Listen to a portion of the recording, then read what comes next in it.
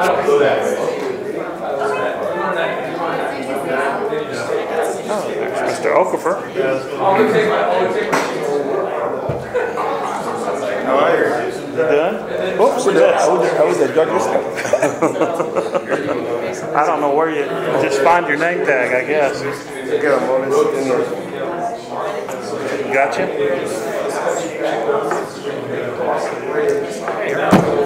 All right, folks, it's about time to start this. Are we recording? Yes, It's all recording. Okay.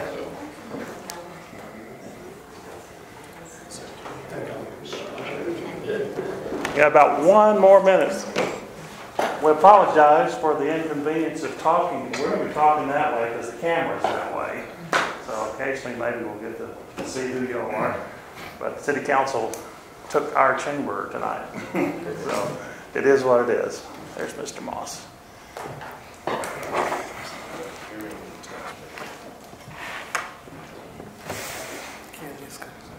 Huh? Yeah. Hey, Mr. Moss? Ken, how are you? I'm doing okay. Doing okay?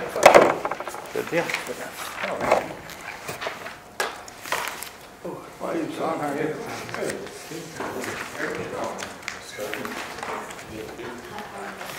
All right, uh, we'll now call this regularly scheduled meeting of the Planning and Zoning Commission for Monday, August the 19th. It's now 7 PM. Uh, We've got a couple of members that are going to be delayed, and we'll just have to put their names down as they come in. Miss Mitchell and uh, Josh Sandler. And I don't know, who else are we missing? I think that's it. All right, first item on the agenda. And I, I must remind everybody, we're being recorded. The microphone's way up there, so we need to speak up as loud as we can to hear it or to get it on the recording. Um, first item on the agenda is approval of the minutes from the last meeting. Here's Mr. Pease. Come on in. Very good. Anywhere. I think you're right here. Did any of the commissioners have any uh, comments, changes, or corrections for the minutes? Yeah, Move approval? okay. Second. It's been moved by Mr. King, seconded by Shank. uh, Ms. Daniel. Is that who spoke up down there? Ms. Daniels? All those in favor? Okay. Uh, That item has been approved. The second item is a discussion, is a discussion action item. I believe, yes. Uh, Discuss and consider an application from Colin Heffich, P.E., for a final plat Stony Creek Phase 3B located at or about 350 Town East Boulevard, 161 acres southeast of the intersection of Town East Boulevard and Collins Road. Rashad? Yes, sir.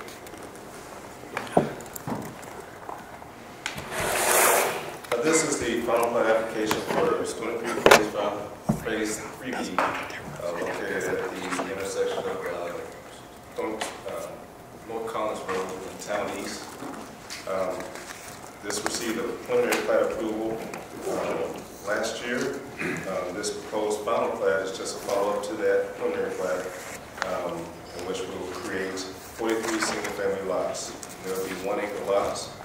Uh, This final plat is in in, uh, accordance with the uh, amended concept plan and preliminary plat that was approved prior to this. Um, With that amendment, the applicant uh, submitted uh, a proposal that is uh, going to be, going to develop a number of lots less than what would be allowed typically under the requirements of Stony Creek PRO. Uh, The max number of dwelling units allowed per the PRO was 75. The proposed uh, number that they're proposing to create, create is uh, 68 um, on the, with track three. Um, the Density at the, uh, one complete would be .31. Uh, Maximum allowed would be .5, and the open space is required is 21 acres, and they will uh, meet that requirement with regard to what they're proposing to construct in open space.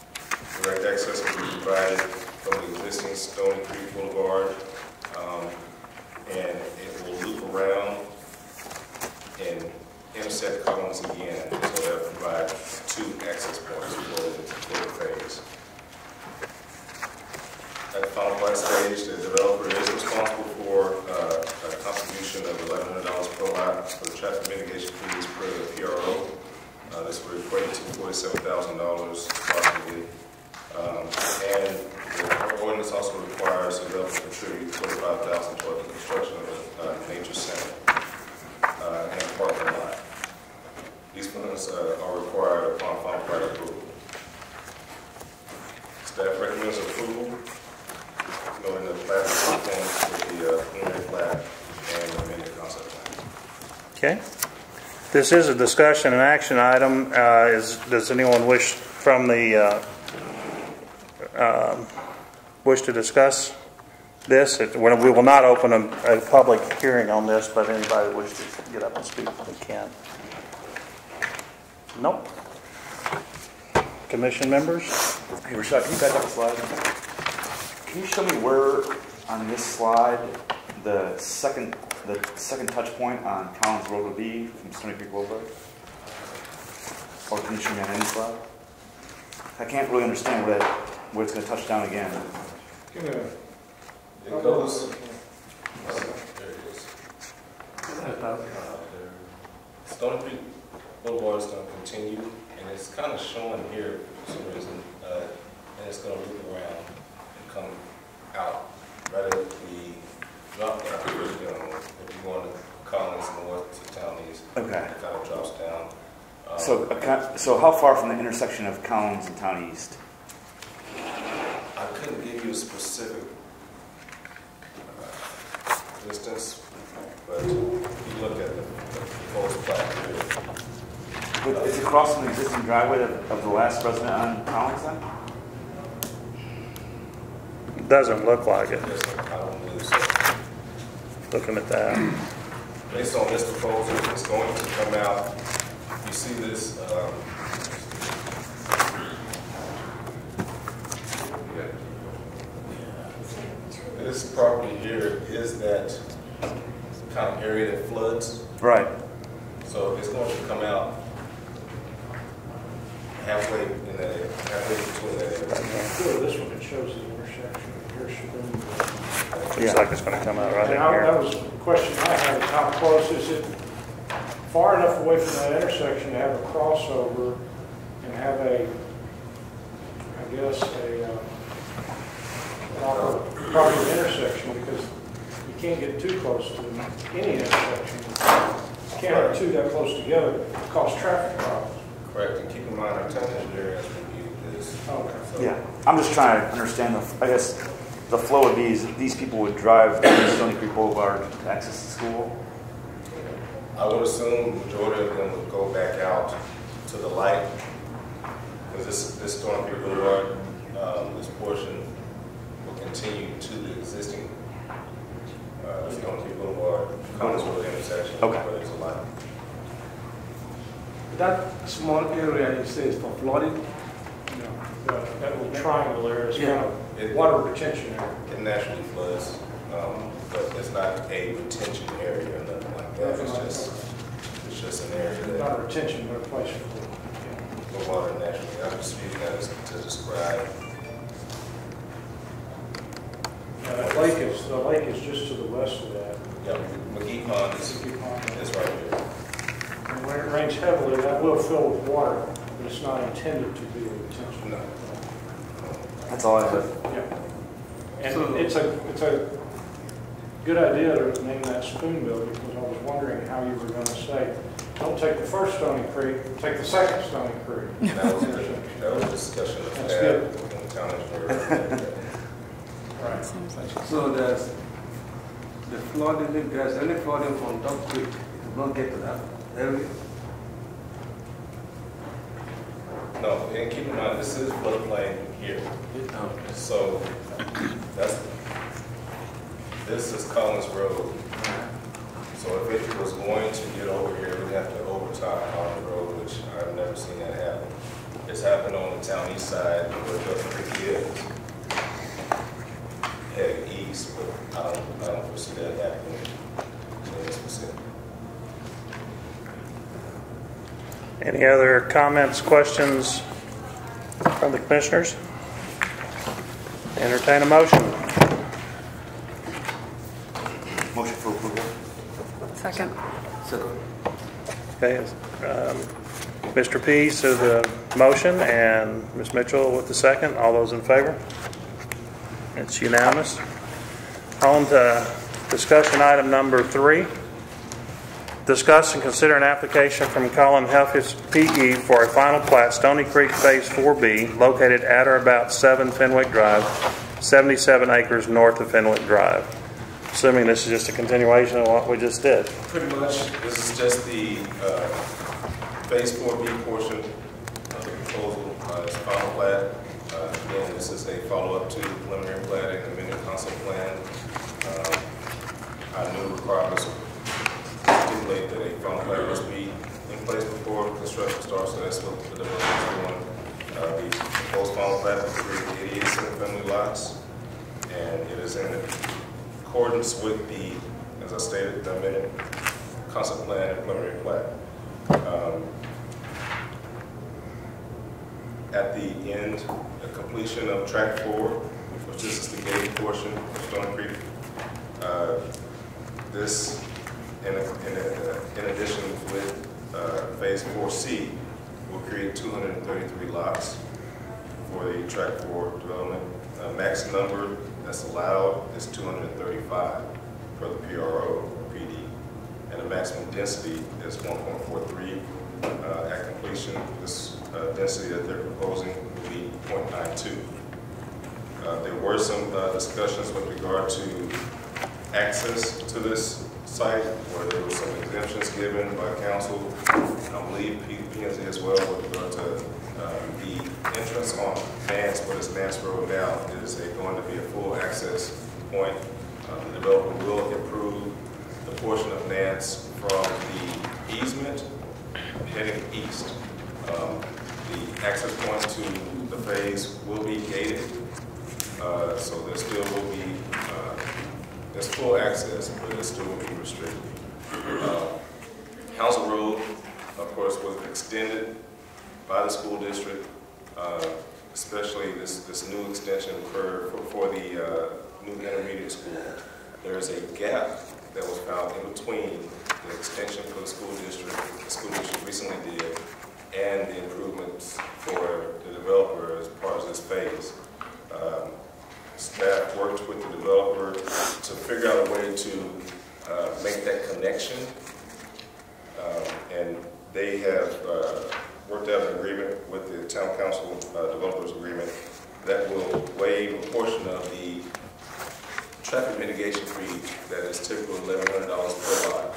And they'll allow them to use that fee in lieu of, uh, uh, for the construction cost of that connector, if that makes any sense. Um, So with that being said, there are any, any other changes? Uh, Staff recommends approval. Okay. Anyone wish to speak on behalf of the applicant?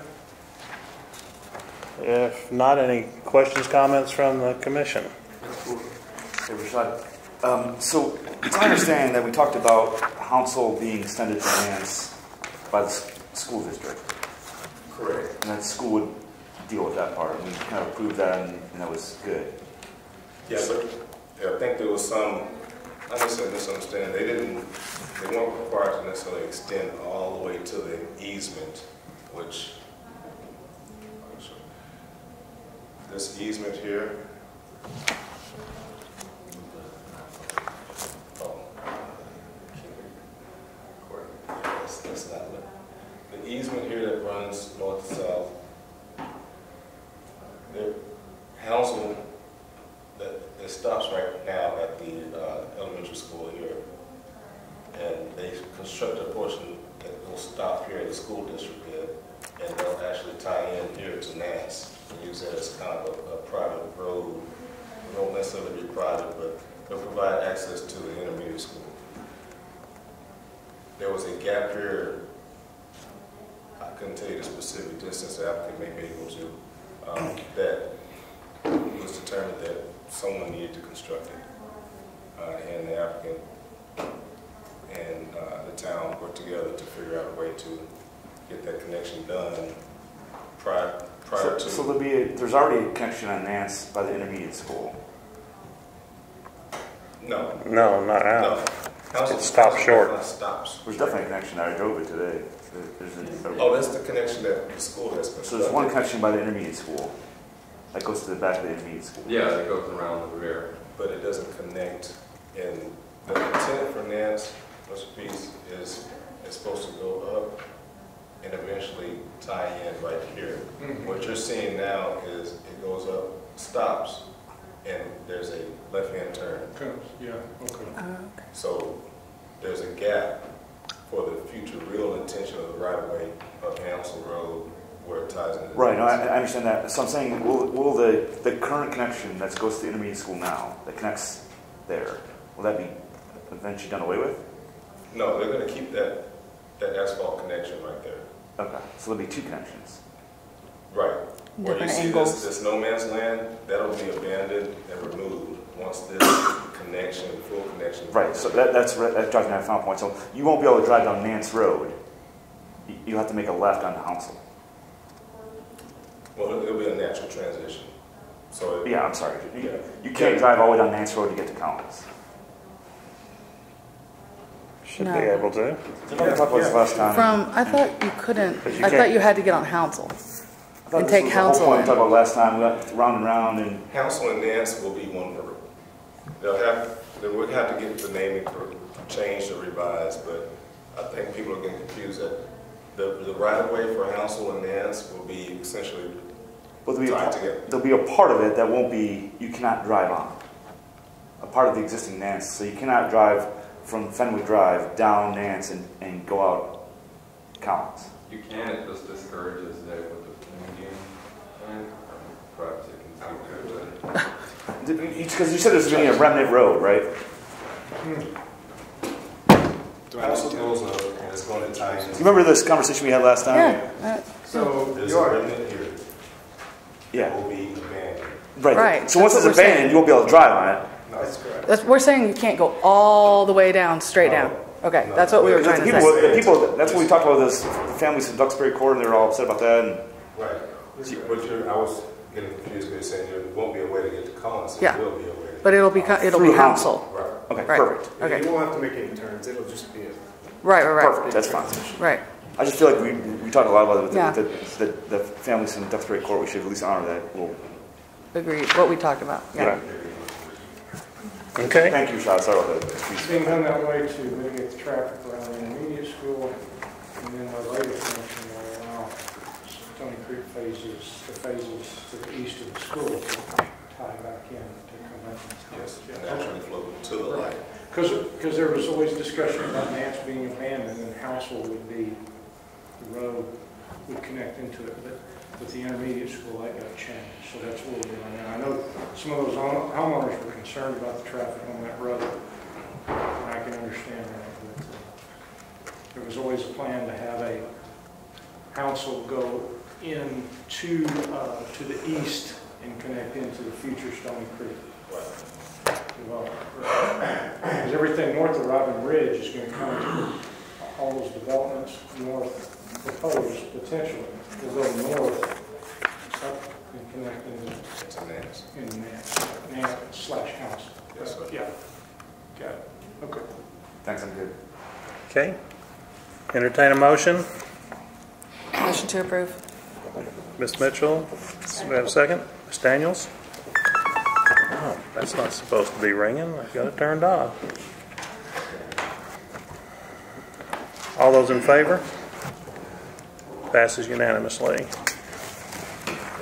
Discussion item number four. Discuss and consider an application from Colin Heffitz PE for a final plat Stony Creek Phase 4C located at or about 400 Nance Road, 81 acres northeast of Nance Road. Continuation of the first two items. Yes, as noted, this is a continuation the items. Uh, This is Phase 4C, uh, located toward the uh, farthest eastern portion of Nance Road. Uh, This proposed final plat will create 76 single-family lots. Uh, As noted, this is in accordance with the preliminary plat and amended concept plan that was previously approved. I'll note that proposed uh, number of dwelling units, two thirty-three, uh, when you combine it with the existing track for, uh, the phase four B, but specifically this plat is three seventy-six lots. Uh, Proposed density is 0.92. the proposed open space is forty-three point four six, but your portion has already been developed with the phase four A. Uh, Something I did not know, uh, previous approvals uh, for phase three and phase four, um, the applicant plans to go ahead and grade um, pretty much all phases, uh, but they will only move forward with the full construction of phase four B at this time. Um, And as I noted with the, uh, the waiver that was given by town council with regard to the developer agreement, that was also, uh, phase four B was, was included with at eleven hundred dollar waiver per lot. Okay.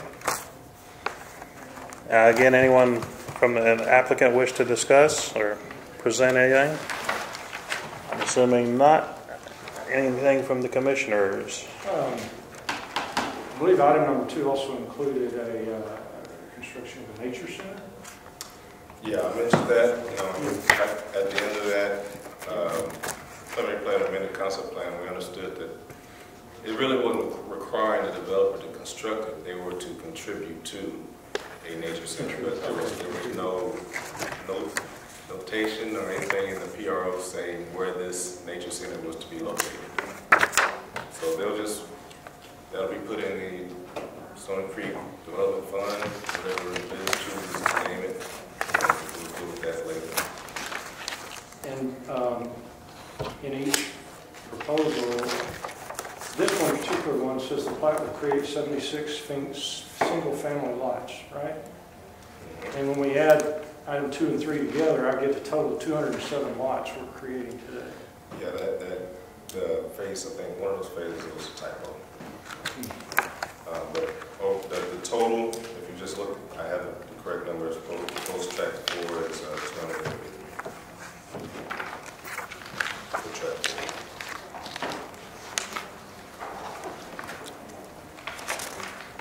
Any other questions or comments?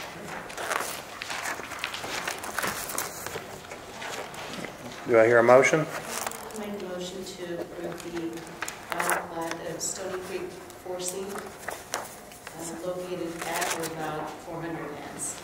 Second. Okay. It's been first and se, or motion and seconded. All those in approval? Unanimous. All right. On to item number five. Yes, uh, Commissioners, this is uh, replat of Marine Baptist Church Edition, which is a larger area than is shown right here. Um, But these are the two lots uh, which we're speaking of today. The purpose of this replat is to combine these two lots, uh, that, uh, to have, to combine these two lots for the, the site plan for Corrales Plaza as a retail center that you guys approved last couple months ago. So this is a replat to take care of this discrepancy of it straddling lot lines, um, or a single lot line. It was originally platted in 2005 overall, the whole, whole area, but it's gone over, uh, undergone several replats for easements and lot lines to be added and removed. Um, Setbacks now are going to be 50 feet the front, sides will be 25, and rear as well. Uh, Public notice was sent out since this is a replat, to the budding property owners sent- shown there. Uh, Haven't received anything in favor or opposition of this, this replat. And here's the final site, uh, actual proposed plat. Features the fire lane encompassing the building, which will go right here, um, as well as the detention area in the rear. It's pretty standard. Uh, If you have any questions, I mean, other than that, staff recommends approval. Okay. Does the applicant wish to approach and provide any more information? Anyone? They're here, but Okay. they don't need, unless you have questions for her, Uh, she's the owner. Commission, anybody? Okay. We uh, now will open the public hearing to discuss this. If anybody wishes to approach and and uh, give any answer or give any comments one way or the other. Please come up. Just state your name and address for the record. My name is Alice Tavares, 396 Dawson Road. I'm the owner, so if anybody have any questions on it, more than happy to answer for y'all. Okay. I think as many times as it's been replatted, we're pretty good. Yeah. All right. All right. Thank you, ma'am. Anybody? Okay, thank you. We'll now close the public hearing. Anything else from the commission? Entertain a motion? Recommend approval. Okay. Second. Okay. First with, uh, motion by Mr. Moss, approved, or a second by Mr. Pease. All those in favor? It's unanimous. Moving right along to item number six. Yes, um, this is a request for specific use designation, uh, for property along Highway 80. Uh, Circle Leasing owns it, and the tenant is applicant from Morris P&D. Um, This is, this request is for outdoor uh, contractors shop storage yard.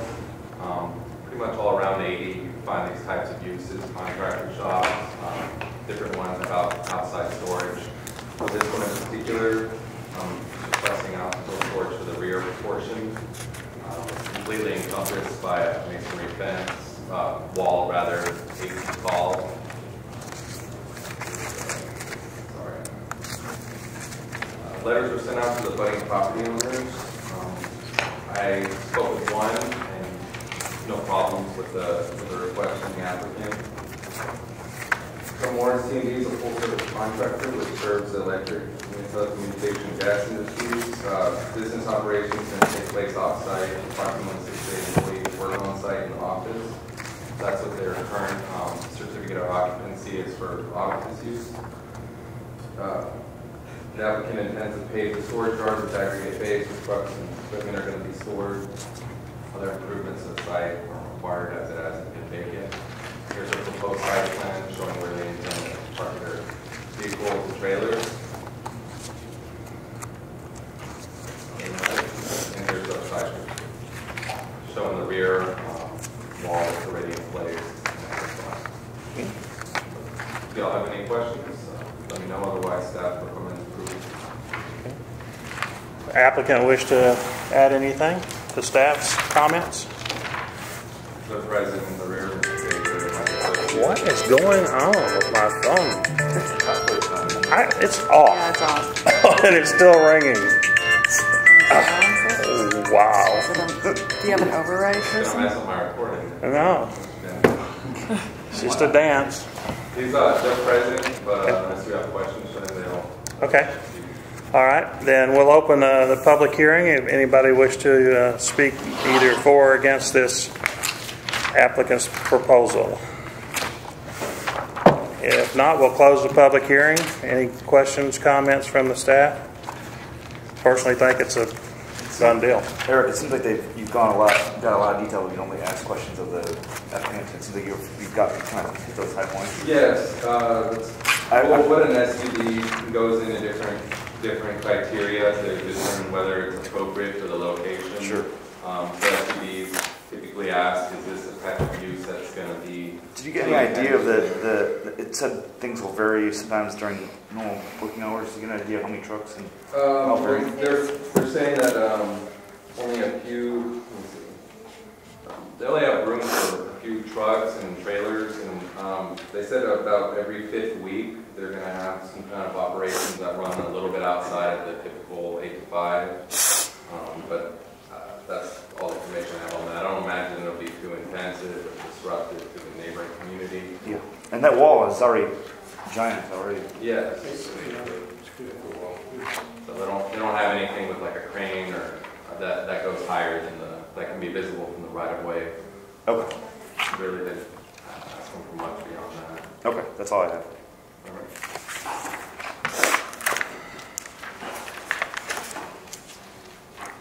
All right. All right. Entertain a motion.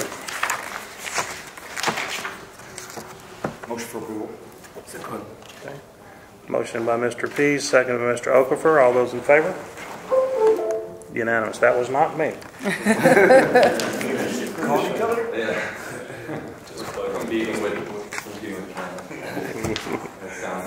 All right, on to item number seven.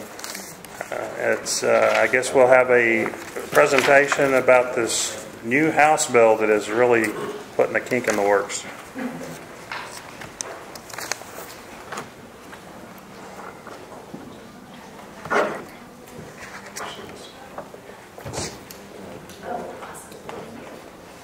We have uh, Reed Johnson from uh, Messer Fort McDonald here to do a presentation.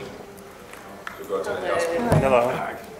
I apologize for running in and out of the meeting. Um, I was covering another one by phone, so Nice. we've got a lot this week because of these legislative updates. So I have copies. Um, if any of you would like paper copy, you want to take notes, anybody? Sure. I'll just start, you, you just pass them down. Take one if you would like. All right, so I, is this the first meeting that our firm has attended? And so, Yeah, I think so too. Well, thank you for having us.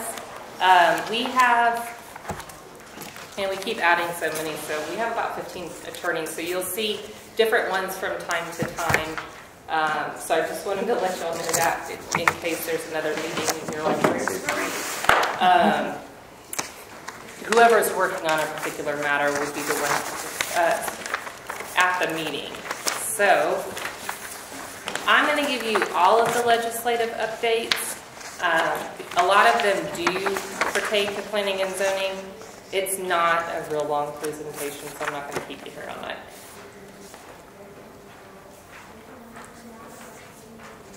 Well, if I could, it's changing. I was changing. It's changing on the screen, but. Try it again. No? There it goes. All right, so this past legislative session that was conducted of, over the summer uh, introduced several bills listed at the bottom that pertain to cities. And because, like somebody said previously, it's caused a lot of disruption.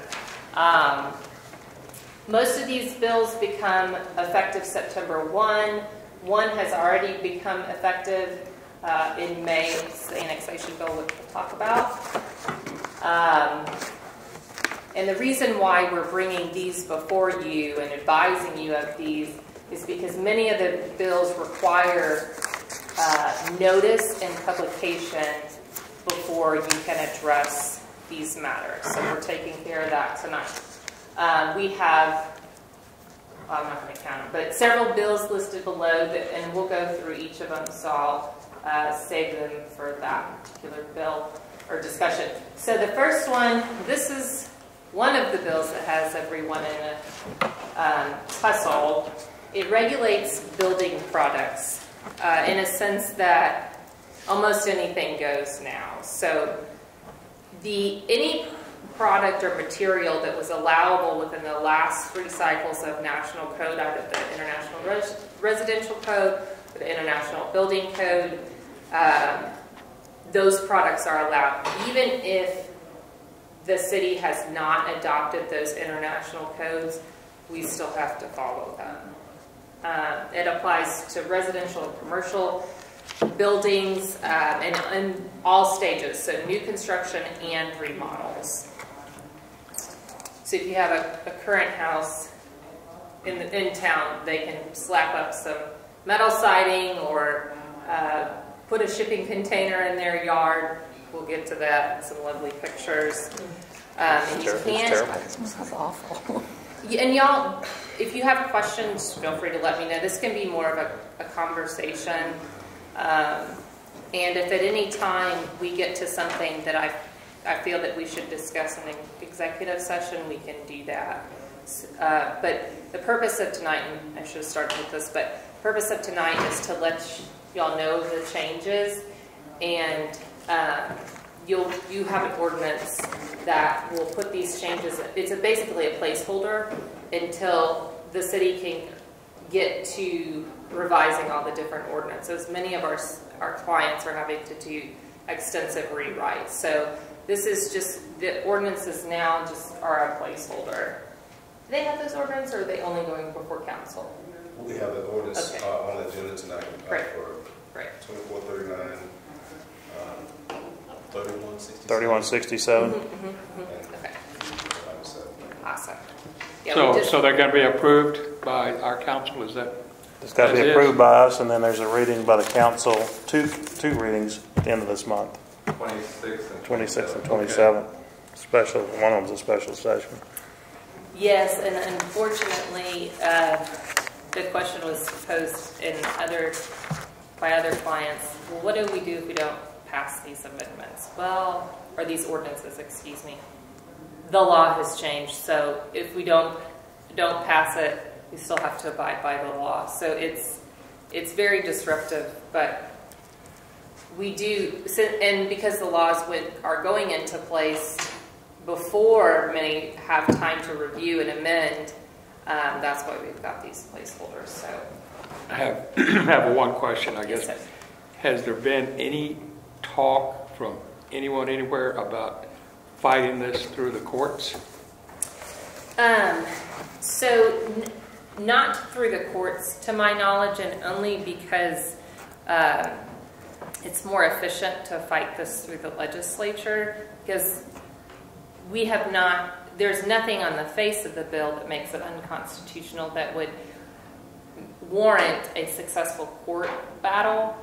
Um, so many, there's a, a collective group of, of entities that are fighting on the basis that a lot of this, the reps that looked at, that passed, voted for the bill, didn't even look at it or read it. Um, That's obvious. Yeah. Clearly. yeah, uh, well, we, so the joke around the firm is that we're gonna, we're gonna buy some houses Yeah, next, next to the door. reps that. Slap up some metal and Yeah, some uh, vegetative roofing, and you'll see what I'm talking about if you don't already know. Uh, we've got some lovely So, pictures. so these three ordinance we, or these three we just passed, those 200 lots, they could put up houses with aluminum siding. They could build one out of, they could build one out of a cargo container, Cargo and they, container. could- you could, we could, they've got couldn't nothing do to stop them. Or they can put vinyl siding on the whole Uh, house. Aluminum siding. It throws out our Anything UDO, throws out our design criteria, everything. I will say staff's expectation, most of the home builders, if they're building an existing development, they're not going to. They're gonna, Right, they're yeah. gonna keep doing the same. I see a lot of the, and, and we'll discuss the issues and what questions are still remaining in this present, and, and how you, what the town can do to mitigate the negative effects of the bills. Um, but, yeah, I'll- well, I'll just say. One, one, one more question, then Yes, I'll sir, be no problem. Uh, Where, what area or what rep did this originate from? Um, a representative in Southlake, and I apologize, I don't recall his Wow. name. Really? I know, of all places. Yeah, wow, But he's going to be done. wow, Yeah, Yeah.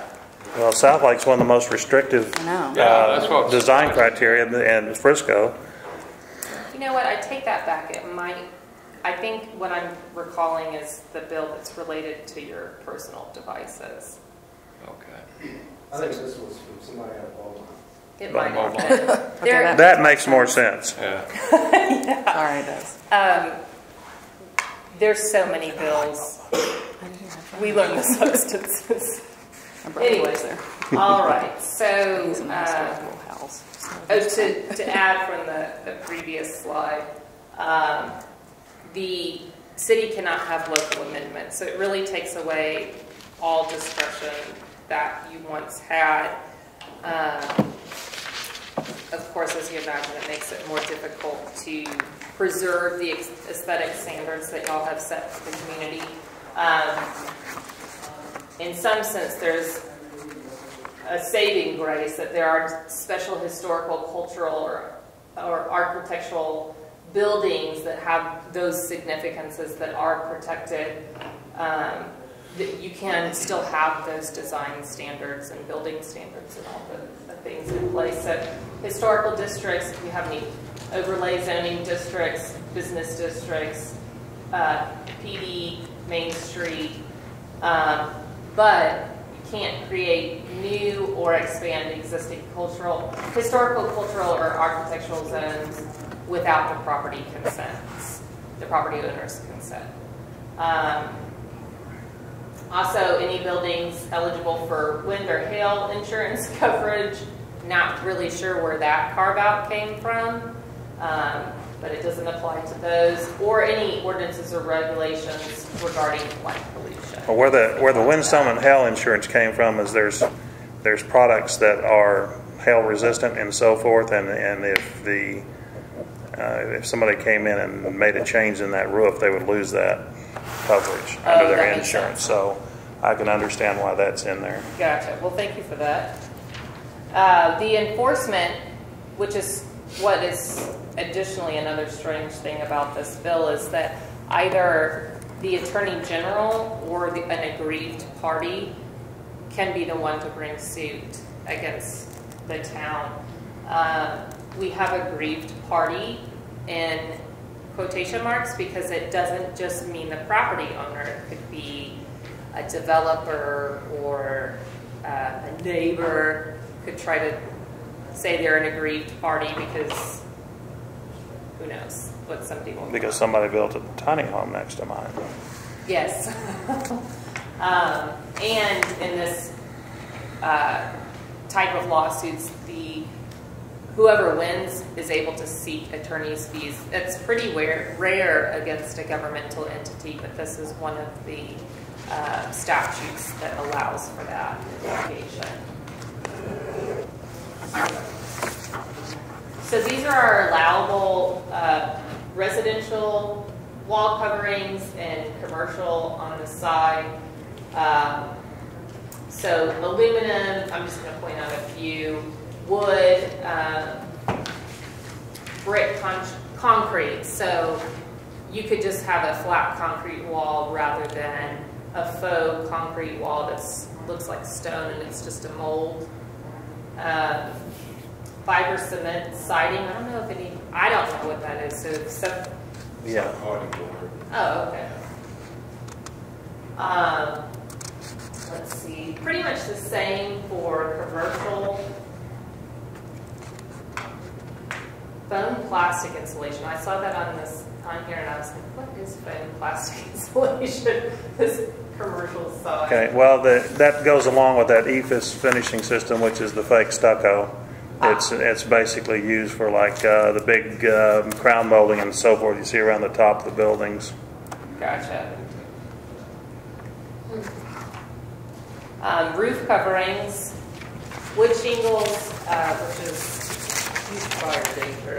Uh, also the sh- wood shaker tiles, um, of course clay, metal, metal shingles, and also metal panels.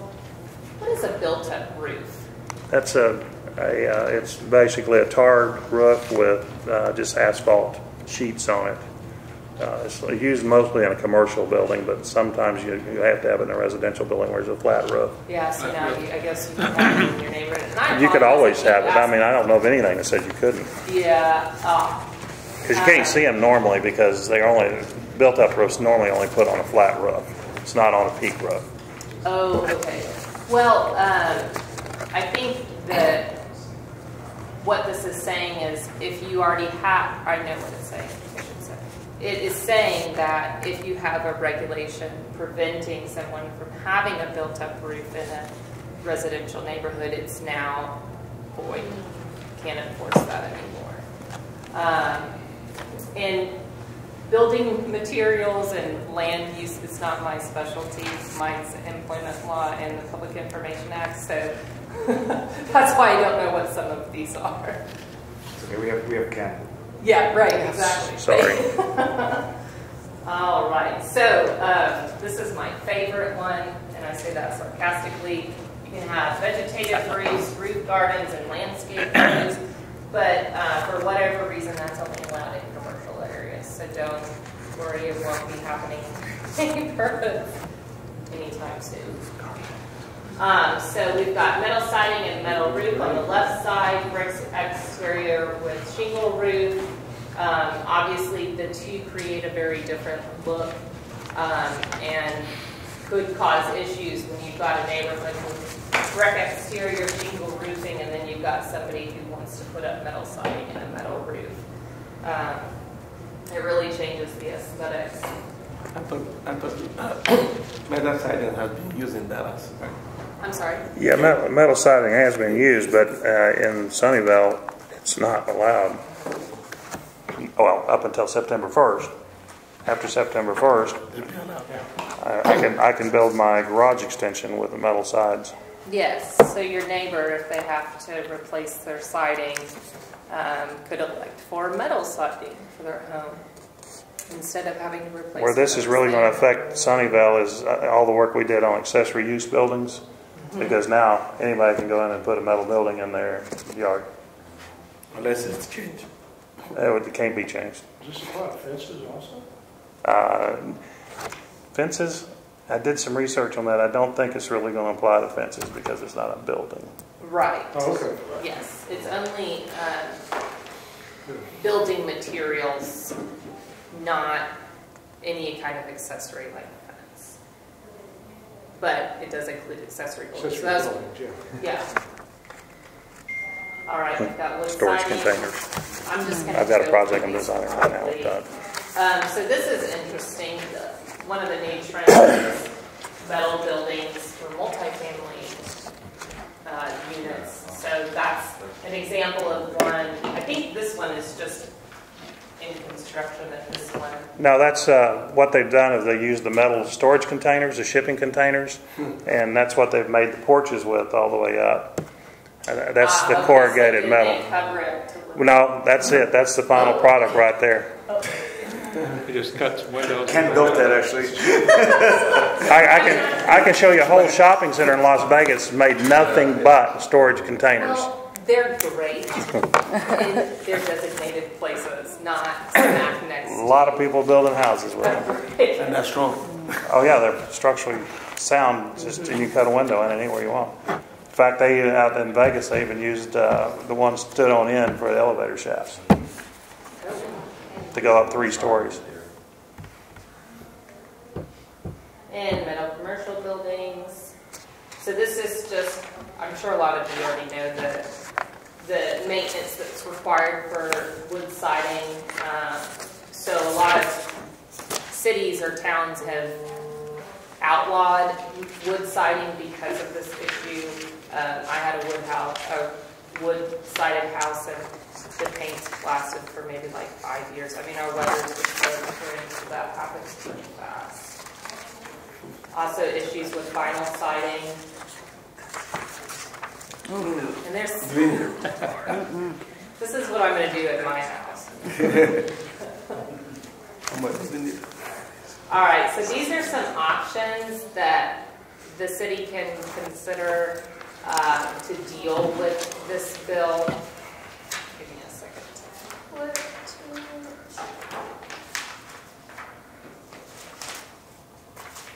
So you can increase uh, architectural and setback standards, uh, like landscaping buffer requirements, monotony rule, overhangs, things like that to try to exclude certain types of buildings. So if you have a roof pitch requirement, for example, um, you know, that, I suppose somebody could put a roof on a shipping container, but that still takes out Makes it more challenging. And Yes. more, Yeah, add more to it. um, you can increase the number of building materials required, like two types, uh, like, so stone and maybe a small percentage metal, whatever, or I guess wood would look better. Yeah, but Uh, by, by this law, from what I understand, we cannot demand that it's eighty percent masonry or part of the, the wall can be this or part of the wall can be that. We don't have that right. You can't know a percentage. But you can tell them you have to have two. Yeah, we have two. Two or three different Two or three Yeah. different types, right. Then why can't this go bad metal, bad wood, bad brick? You could. I don't think that adding number of, does that really help? It to might. Add more? Well, you can't just put. It'd break up a bad-looking it- building. I think it's to make it, and it's to make it more challenging, I think. Anything that makes it where they can't just No, I, slap I, slap I hear, you- I hear the up idea of a making metal it more building. onerous to someone But to. we, we kind of have that in some of our, our design criteria anyhow, as far as undulations and setbacks and, and on the facades of buildings, but it doesn't apply to residential. Well, I'd like- I'd like Just to hear more about three. I guess three is really the, if you're, if you're in an HOA, I guess what you're saying there is, Those standards still apply, thankfully. Oh, okay, so it's doesn't. So we just want more HOAs. then. Well, according to what I read, deed restrictions, HOA standards do not apply.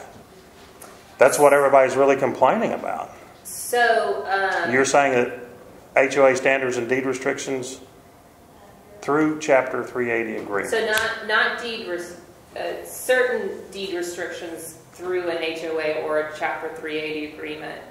Um, HOAs are entities that are different than cities, towns. Correct. So those, those HOA standards are still in place, but the city cannot have their own standards. That, Okay, but the deed restrictions, I I was specifically reading when I was studying up on this several weeks ago, uh, that said you cannot set a deed restriction to create this, anything goes against these two codes. The government can't? Yeah, No. the government can't, but No, I the mean, HOA is not the If I want to sell a piece of land, now I'm talking about the deed restriction, not, not HOA now, just deed restrictions. Say I got a piece of land and I, and I want to sell it, I can put any kind of deed restriction I want to on it. Yeah. That says you can only build so much building on it, you can only build this type of building and so forth. But according to what I'm reading, we cannot restrict, if I did that, could not restrict the building materials used through a deed restriction. I don't know how they would do that to people when this is for, isn't this affecting governments and, So the property owner, so we had a, just one attorney, basically, a delegation from all the large municipal law firms in the state went and met with TML reps, and this was gathered as the official position. Um, so, but oftentimes when new bills are passed, you will see things that conflict because somebody else might be of a different legal opinion. Right, Um, makes sense. so it is our position that uh, some kind of deed restriction through a 380 agreement is still allowed. I could Uh, understand, I could understand that through a, through an HOA.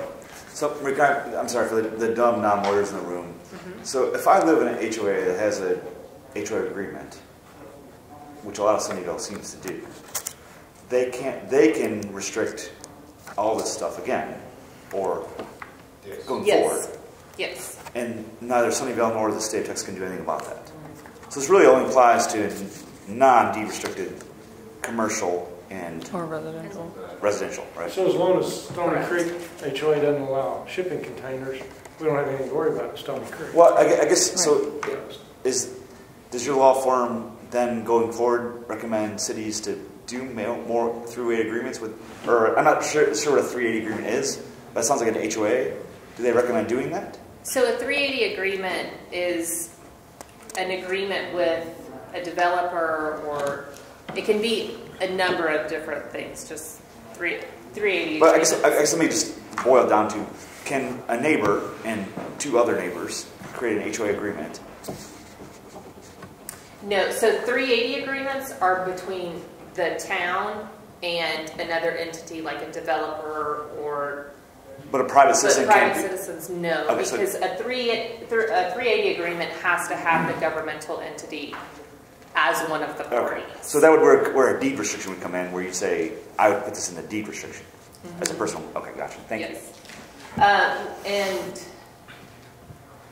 as far as, we've only analyzed this from the perspective of the town and the governmental entity. Sure. There are many deed restrictions that a private property owner Sure. can place on their property.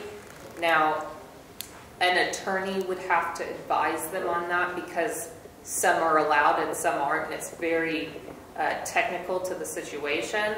Um, Right, but I imagine that's not, I mean, just kind of putting some common sense to it. Most people aren't going to want to put a deed restriction because it make, make them harder to sell the property. So why would they do that if they already have an existing house? I mean, I, I can kind of see that not being the answer for really many people, Right. unless you believe so strongly that you don't want. Right. Well, and if, if I'm, if I own a house, I'm really more concerned about my neighbors, not my own property, because I know I'm not gonna. Correct. So unless you've got the whole neighborhood filing deed restrictions Right. as private property owners, it's probably not gonna get you anywhere. Okay, perfect, thank you. Sure. But for instance, if I own 25 acres out here and I was going to go sell it, I could put a deed restriction on it, said uh, maximum 10 houses on it. And, but I could, according to this now, could also say, and it's got to be brick, and it's got to be, Right. It's typically estates that do that.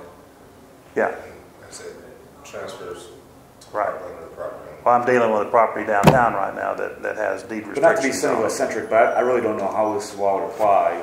I mean, most of our new development now is happening in HOA sanctuary. Correct. Now, if it doesn't speak to exterior materials, there could be an opportunity for a home builder to Right. vary from our standards. This, the house bills are just, they're- they're saying do development agreements, do HOAs. The house bill, and this is what was explained to me, only applies to, only applies to municipal ordinances. So any PDs, anything like that, those development standards, we try to add those development standards to those PDs.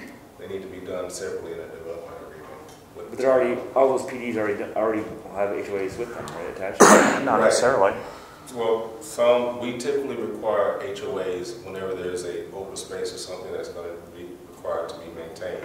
Now, what standards they put in those HOAs, the town hasn't been able to enforce that, and we don't want to enforce those regulations. Sure. They're above and beyond what we require, would require. But this may be an opportunity for us to work with the potential HOA to mm-hmm. add some. Specifics. Or, or the developers who create the HOAs, right? Right, and that would be done during the. And review. encourage Imagine that. The mm-hmm. developers don't want this, I mean, I, I saw some developers wanted to pass this bill, but I mean, It depends. I, like I said, I think some of these existing developments, Stone Creek, I don't see this really affecting them.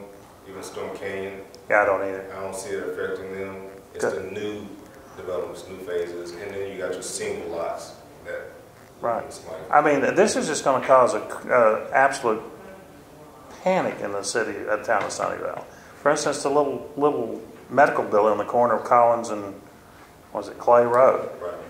It was passed. It all it met all of our requirements, but then we got hundreds of letters complaining about the color of the split face block on it. Uh, somebody comes in and decides to build a little something and they want to use metal on it. It's we're going to get overrun. There's nothing we can do about it. Well, that's what, to her point, some of the things that we can do is require two types of building materials on the facade. An opportunity. We still require the articulation. Yeah, which that building had it too, but everybody complained about the color of it. It can still look simple, Yeah. but Yeah, there's always ways around things. Yeah, and I mean, as y'all have probably already run into, citizens also, they don't understand the limitations of the town. Right. Um, if they wanted to paint a building cost, there's not, I mean, you might have an ordinance against that. I wouldn't know off the top of my head. But as an example, somebody could do that if they, a commercial building. Right. I mean, I, I, in, in Frisco, several years ago, I tried to develop a 55,000 square foot medical office building. It took a year. And that, their criteria was so tight that you had to, any color used on the building had to be between this color on the Pantone chart and this color on the Pantone chart, which meant a Texaco couldn't go in because their logo is red and black. So, I mean, that's how restrictive it was. Now, I'm, I think some of that might be, you know, addressed here, but that's too restrictive. And when you got, and I've always cautioned everybody on PNZ and council, you cannot dictate what somebody uses. You can dictate, you can't dictate the color. You can dictate that you need this much of this and this much of that, but you can't tell them they can't use brown block instead of cream colored block. but you also would hope that capitalism would dictate is that if you don't like the color, when you go to the hospital, building, eventually they'd have to close down and you paint the color. Right. Well, there was a house in our neighborhood that was uh, uh, in phase two that was stuccoed, and uh, everybody in the neighborhood disliked it so much that the HOA ended up having to repaint it. In, in, our- in, our- in our area, I think there's a house behind him with green, with green roof. I think they, there's a lien on the house. Right. Yeah. Before they sell it, they have to put back. So, uh, fourth and fifth, uh, ways to deal with this, utilize development agreements in the ETJ to include building material standards. Um, It's okay if the town and an entity, developer, or even just a property owner come to a separate agreement to stick with certain building standards. Can you just, can you uh, tell everybody what E ET, ETJ stands for? ETJ. Sure. Extraterritorial jurisdiction. Okay. So the city limits of, y'all just have a small ETJ? Yeah, it's, in- it's all floodplain, borders the Gotcha. north part and then a little bit on the east. So it sounds like it won't help you. No, no. I didn't think that was going to apply. Um, and then also just a whole bunch of training, uh, on these standards, just to get everyone in the know.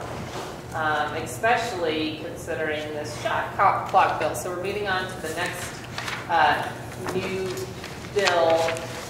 This only pertains to land development applications, plats and related plans. It doesn't include zoning plans.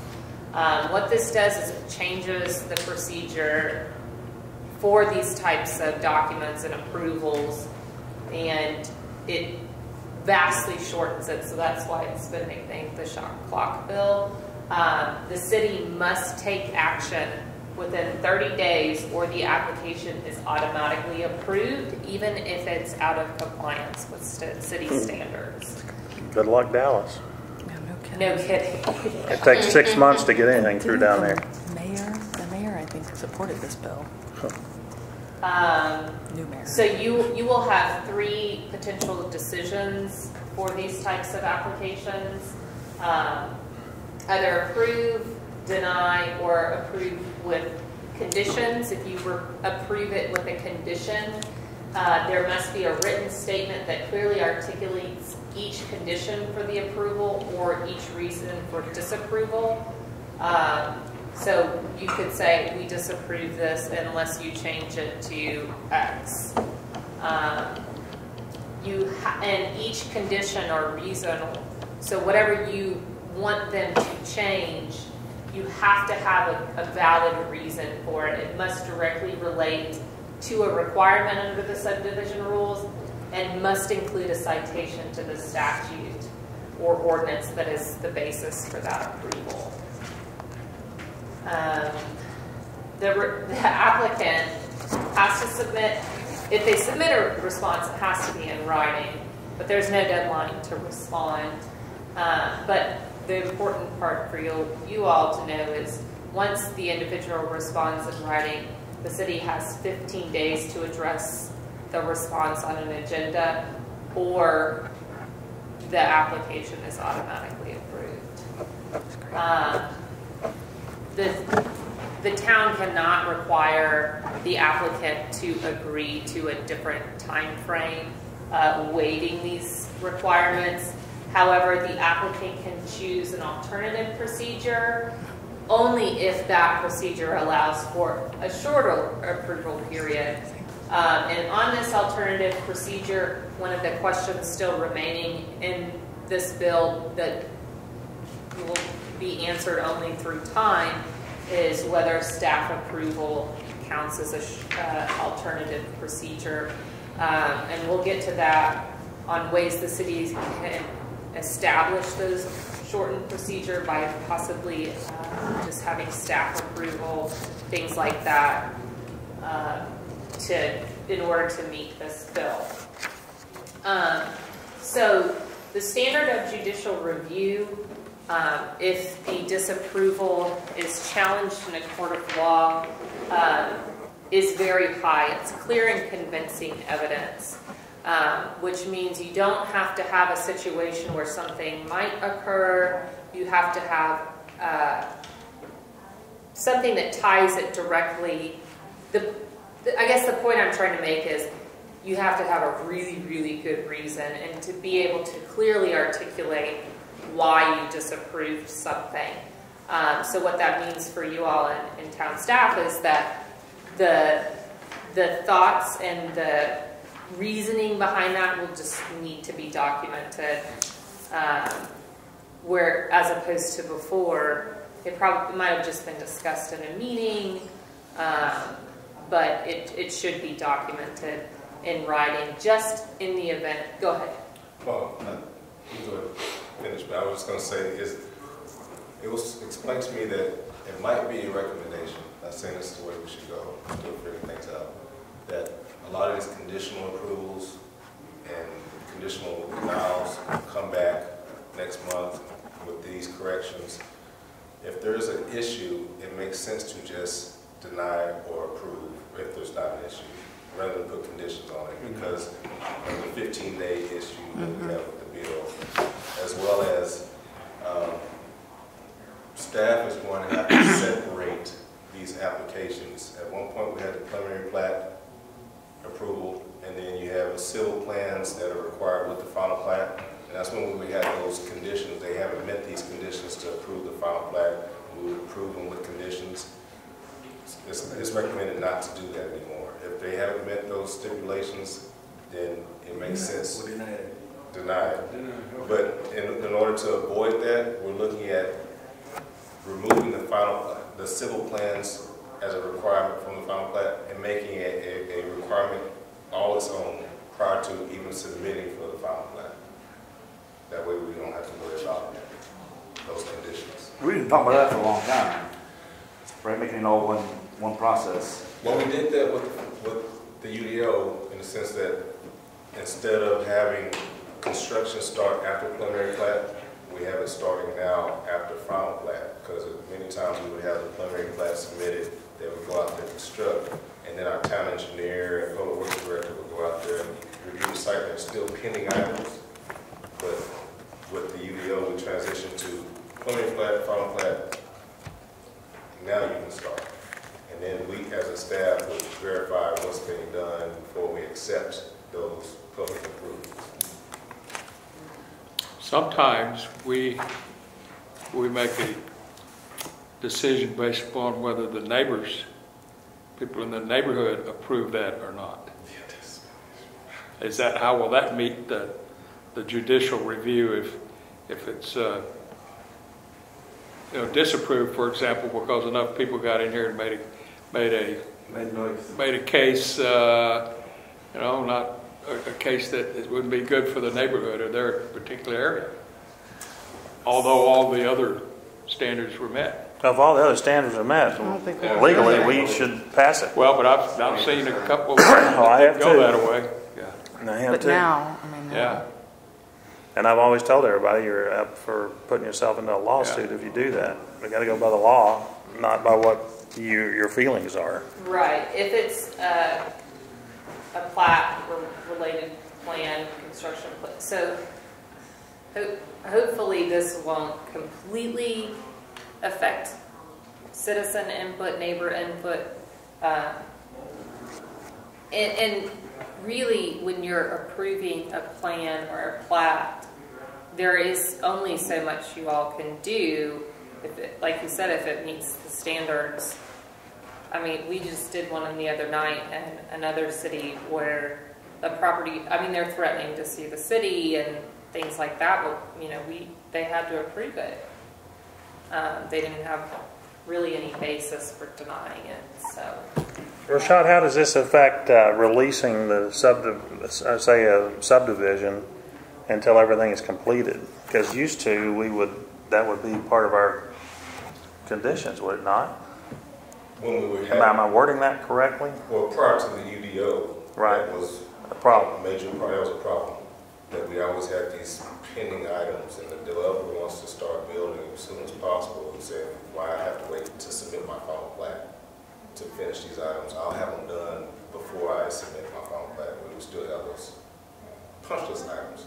So to avoid all that issue, now we have preliminary plat submittal, final plat submittal, then they can start construction. So this will alleviate, I mean, the UDO process now will alleviate that issue, but um, we still were having, we're still having some punch list items in a sense with the civil plans that were tied to the final plat. Say, there's some minor comments that we'll note as uh, final plat's con- approval is contingent to addressing all town engineer comments, which It may just be some notes that need to be corrected. We won't do that anymore until. Now you have to just deny it. Yeah, but we, at this point, I'm, I'm looking at just having the civil plans, and construction plans approved prior to even allowing final pricing. Because I know we've had a lot of final plats come through where we've had conditions attached to them, and we would approve them based on, oh, that's going to get done, type thing. Right. And that can't be done anymore. But we also have somebody to throw the blame on too. It's out of our hands, folks. It's state law. Exactly. Yeah. Just. Don't shoot the messenger. So here are more option, or the options to deal with this particular bill. Um, The, what, so you could change your procedures to an application go, going straight to P and council uh, for decision uh, with minimal comments, or increase the meetings, the number of meetings with P and council. Um, the discussion and legal conclusion has been, if this also, this bill also makes it virtually impossible to table the item to the next meeting. Um, because, let's say if, um, an application was submitted and it comes before P and Z, you likely will not have time to table the discussion for another meeting and then pass it on to council. Um, unless all of y'all want to schedule special meetings, uh, which we still will have to post 72 hours in advance. I I asked a question. Um, Never mind, I forgot what I was going to ask Rashad. Had to do with this very same thing. Um, Don't we already have a time frame in place, It's- but it's just so many days before, 14 days before our PNZ meeting? Notice requirements, No, as far as them submitting, developers submitting documents. um, we don't have a specific date.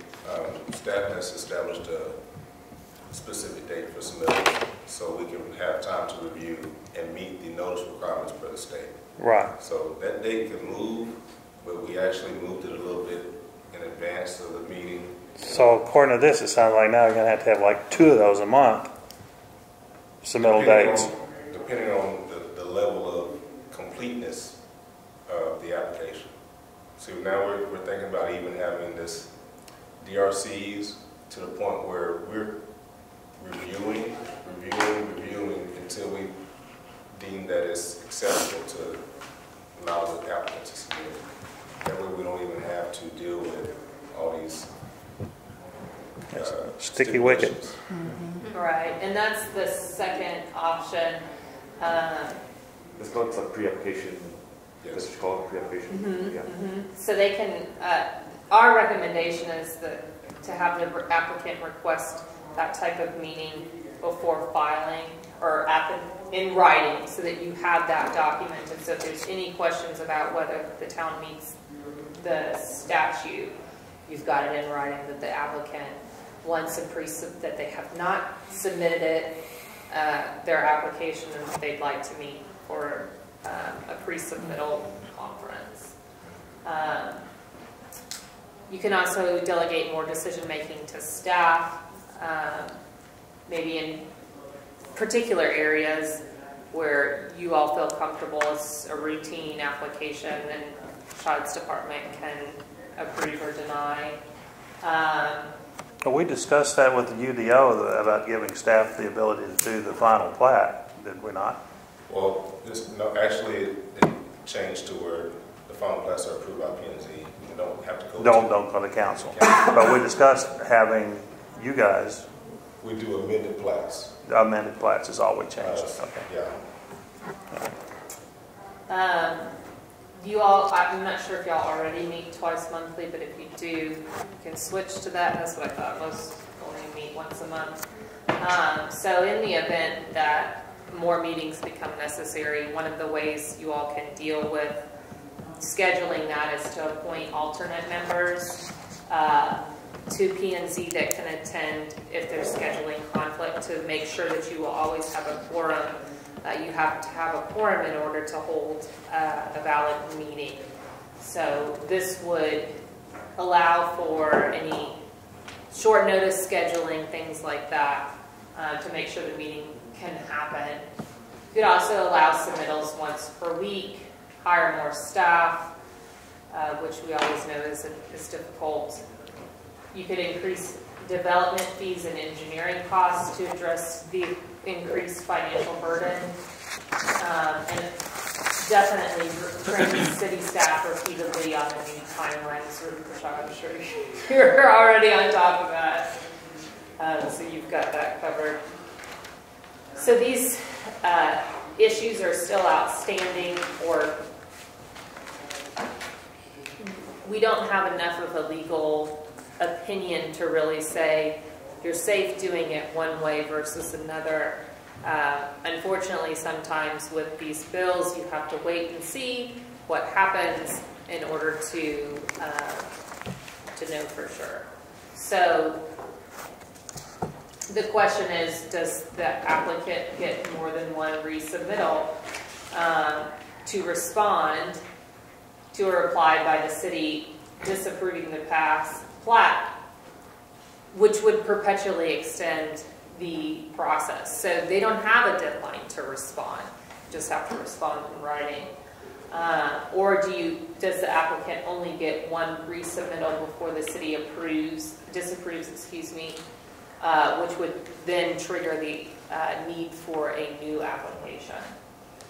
Sure. And one of the remaining questions under the act is, can staff approval be an alternate approval? Um, our position is that it can in most cases, but it needs to be discussed specific to y'all's town. It- it- That's really more of an internal discussion, I think, but that is a possibility.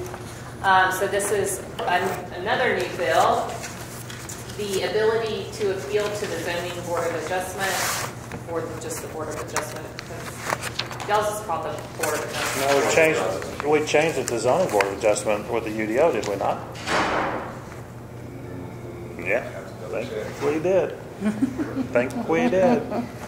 Just doesn't roll as well as BOA. Uh, It doesn't. Yeah, ZBA does, sounds kind of strange. Zoning board of adjustment. And um, any, any person may appeal a BOA decision made by an official, administrative official, so not just the board, but also staff, um, making a decision on a particular project or application. So it could be the person who filed the application, um, the owner or representative of the subject property, or property owner within 200 feet of the subject property, um, or any one in the municipality. So perhaps that might be our saving grace, but I imagine there could be political issues behind that if the city wants to do that. Uh, The appeal must be filed no later than 20 days after the decision is made, and the BOA shall decide not later than 60 days after the appeal is filed. So uh, does your BOA have a standing meeting, or is it just as needed? No, it's every month, uh, but we don't receive applications every month, so we don't receive it after the middle date, I just cancel it. Gotcha. That's good you have, it's on a scheduled basis rather than as needed. Uh, So the likely effect, it'll- it increase litigation of BOA decisions uh, by surrounding property owners that previously they didn't have standing to uh, bring that lawsuit. So before, they did not have the legal means at all to be able to even file the lawsuit. Now they do. Sorry, so you're saying that the bill passed, you didn't agree with the BOA, you could just, you're stuck? It's the ones, the property owners that are within Right, if you're a neighbor of the property, then you had no, no repeal at all. Right, Right, right, unless uh, the city had something in their ordinance that gave that right, there was not a statutory right to it. I believe we, that you could take it to the council if I'm not mistaken, if the BOA disapproved or didn't uh, pass it. I'm just thinking about these small cities with just a neighbor that's just tired of the BOA. They had no recourse. I mean, they could attend the public hearing, note their concerns, and I think there is a twenty percent rule. Yeah. Twenty percent of those in that two hundred foot notification area, And it's a three-fourths vote. it requires a three-fourths vote, so they had their way of saying they're opposed. Oh, okay. There's some other way. Yeah, there is. Yeah. And I think they can appeal to council. No, it goes to district court there. Oh, okay, it's, they're the quasi judicial board, but, Okay. alright. Um, This is another new bill, the annexation bill. It ends most unilateral annexations by any type of municipality, uh, regardless of the location, population, or provision of water and sewer. So before, you used to be able to do it in some cases without the property owner's permission. Um, That's not allowed anymore. Uh, Most annexations allows now, and- and this is the bill that passed and was effective in May. Um, So this, yeah, so this has been in place for a couple of months. This one I agree with. So now you can only annex uh, if there's a, re- a request by the owner of the land. The effect is that it curtails significantly municipal growth. So you're basically freezing the city limit lines in their place as of May. Uh, Unless it, Unless they want it. something, wants- Unless they request it. Right, right. That really doesn't affect us because we're pretty much Frozen. frozen now. I mean, we can't go north, south, Yeah, east, you or have a west. small ETJ, so. Let's call them Carla and see if they want to. So, uh, some franchise fees are eliminated. Y'all deal with this? No, we don't. No. Uh, so this is going to be interesting, uh, the right to speak on agenda items. So many of you are probably used to, uh, that public comments are allowed at public meetings. There was actually no statutory right to that previously. Um, just most municipalities allow it. Um, now there's a statutory right, so company choice, but to allow it. Um, and so if you don't have already, and Rashad, stop me if y'all do, put, to keep control of your meetings, it's wise to put in place time limits, two to three minutes. That's Yeah. a general policy. I know council has little cards and stipulates To that. sign up, yeah. Uh, Generally, We don't have a red light, green light. right. Yeah. But Chairman Difficult, When talk too long. So you could consider having those just available um, for PNZ meetings if somebody wishes to speak. And so how that would affect the meeting is you'd have uh, posted on your agendas whether you want to have comment at the beginning of the meeting or allow each individual to speak on that particular item. So it's either or, but they have a right to do whichever one. Rashad, how does that affect our discussion items like the first five or four we had tonight? Because we're not required to open a, a public hearing on that. no, but, I mean, you could just pause and allow. Well, like we We did. do that anyways, We do yeah. that anyway. Yeah, we, I don't think this will really affect us that much. Okay. Typically, we allow the public to speak anyway. Yeah, we always Well, we could use this as our benefit and have people say we can only comment ahead of time. It would be a little confusing having them speak beforehand, before the item. Yeah, I think, I think it's better the way we do it is speak No, on each I'm talking item. Written comments only. Uh, Well, and it- hopefully this, I highly doubt we get to this point, but by way of example, there's some cities that have people that show up to public meetings that just want to have their three minutes to talk about whatever they want, because it's not limited to what's on the agenda. So, like I actually heard just this morning in LA, they've, public comments have disrupted the meeting so much they will, they've had to shut them down. People show up in costumes and Oh my so like I said, that's not going to happen here, but um, that is what it could get to. So, so really, this wouldn't, af- wouldn't affect an open, uh, open mic time? You know, like you say, a lot of, like Dallas has got it open, and they can get up and talk about anything and gripe and whatever.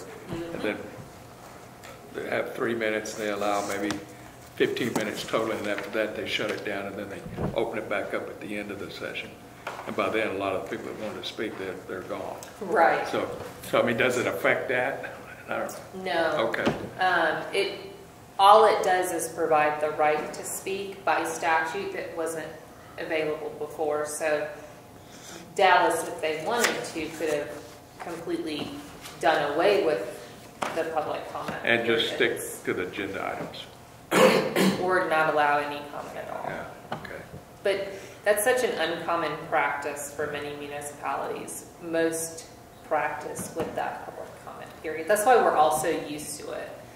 Um, Our, our town council currently, at the beginning of every meeting, allows for general comments to be made, so there's a platform for that. Yeah, and really, uh, so really what this bill, the question is, is can you, um, it's more to, to get policies in place, sounds like y'all already have them, uh, but also to t- think through them more um, and specify if it's not already three minutes to speak per item or three minutes total, or like you said, Dallas has 15 minutes total. Uh, I guess that's just on the general, but I'm talking about each individual person. Well, we've kind of always played that by ear. I mean, there's some meetings like tonight where we've got 15 people in attendance, and some meeting where we got 200, and all 200 want to say the same thing.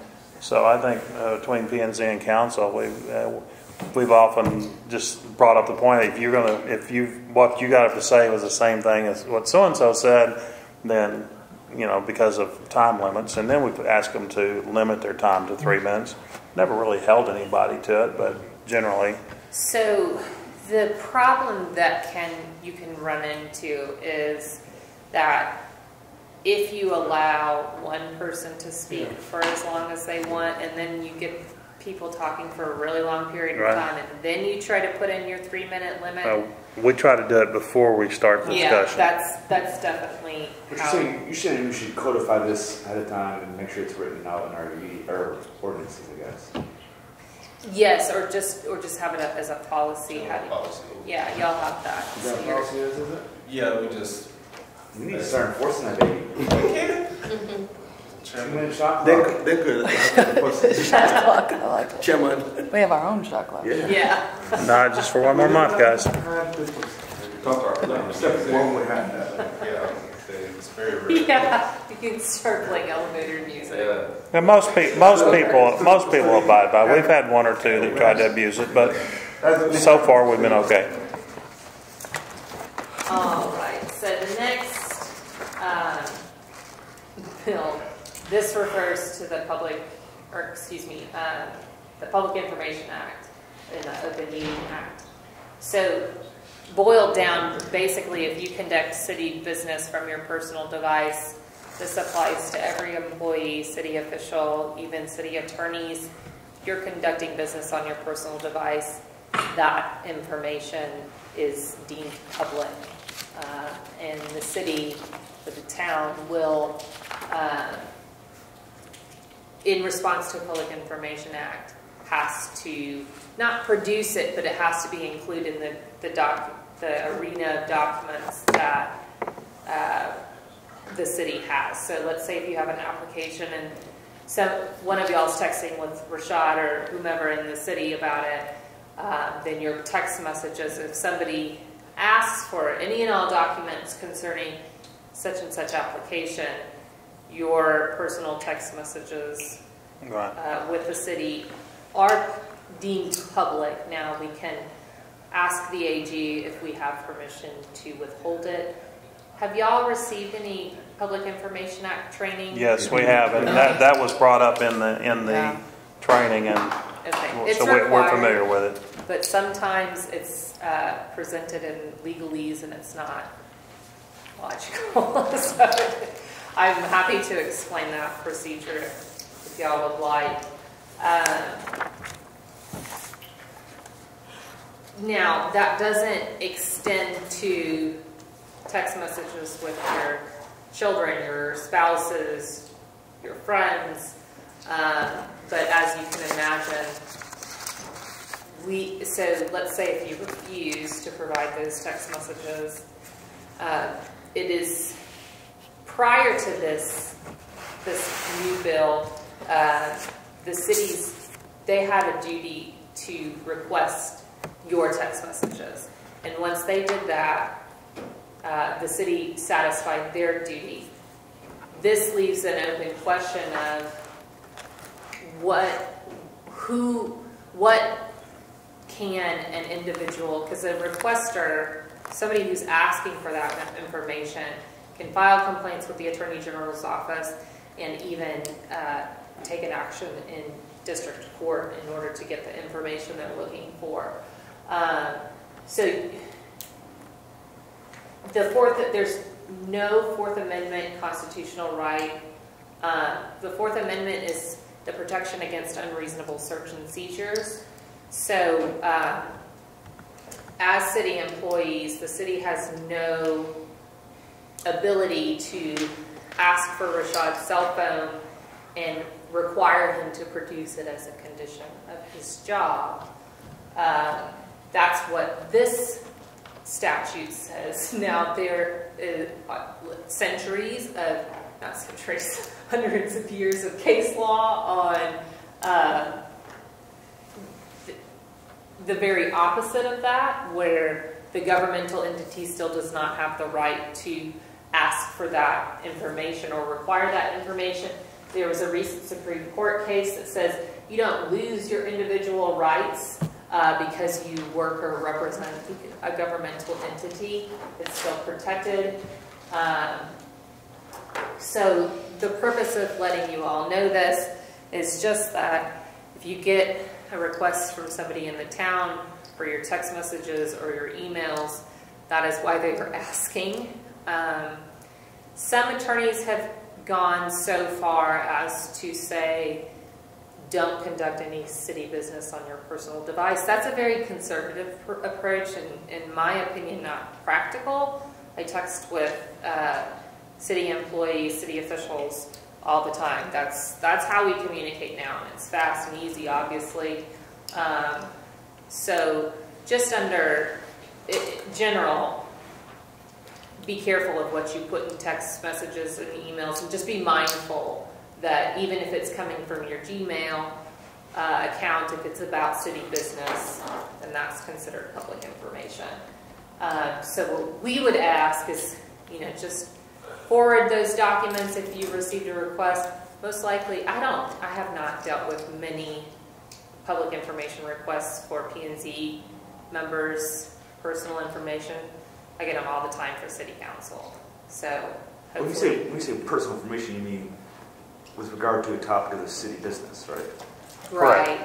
Yeah, well, I say personal information because most people consider what's on their cell phone to be theirs or their Gmail account to be theirs. This is saying it's it's, It's not like, if when- it it's like to when city we email business. each other back and forth about something, and they have the right to, to know what we talk about. But the mayor texting his niece is not an issue. Correct. No, but to reasonably, okay, so let's say we get to uh, litigation and the court says, because presumably the individual is saying, no, you can't have access to anything, I'm not giving up anything. Um, let's say that the district court requires you to produce that cell phone.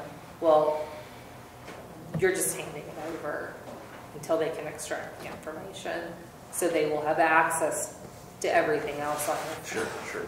So that's really where the divide, and also um, a lot of city employees or officials can be sensitive when they they review or reserve sensitive communications, like, oh, I can't believe so and so is for this ordinance or this whatever. Um, they'll send it on their personal devices, thinking that it's protected and not subject to the Public Information Act, um, it is. So.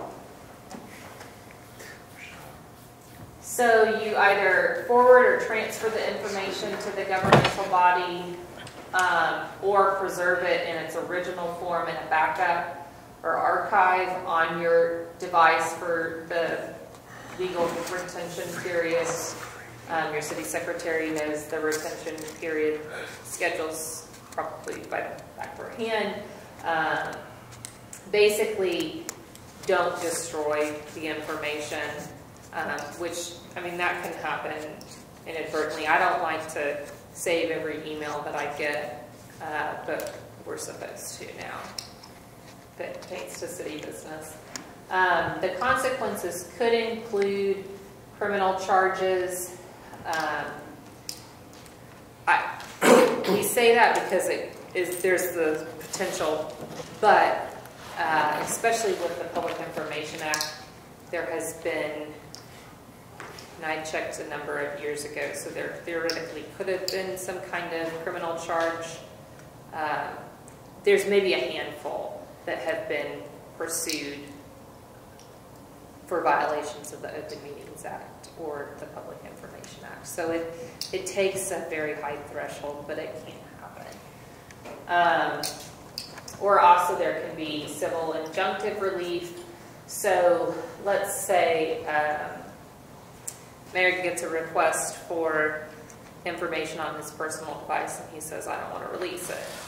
Well, the requester uh, could file an action in district court, uh, which is an ex, it can be an expedited process depending on how they uh, file it, but seeking to force the court to force the mayor to release his information. So it could come in the form of a civil lawsuit rather than a criminal issue. And that's it.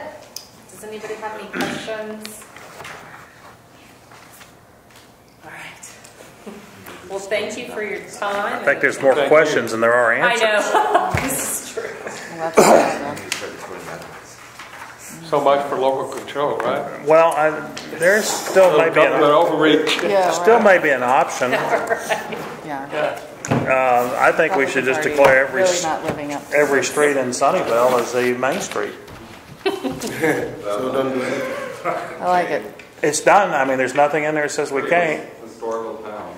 Well, no, because you can't go back before April, and uh, anything after April declared as a historical doesn't count. You have to go through the national. By the way, Yeah. I can get Dave on that. Phelan, the, the Beaumont But I think- representative, is a real estate developer. Shocking. Oh, really? No joke. I just looked that up. He's a real estate developer. So let's just declare every street in, uh, uh, a main Personal street interest there, I think. district. All the way. Well, I wonder who. So yeah. awful. I bet he's got some kickbacks somewhere. Oh, you know he is. Thank you for the information. You're welcome. Appreciate it. You're welcome. And of course, we can answer questions on these as they Okay. come up, so. All right, uh, we're on to item number eight then, where we have got to pass this little piece of, of uh, information to meet the September 1st deadline.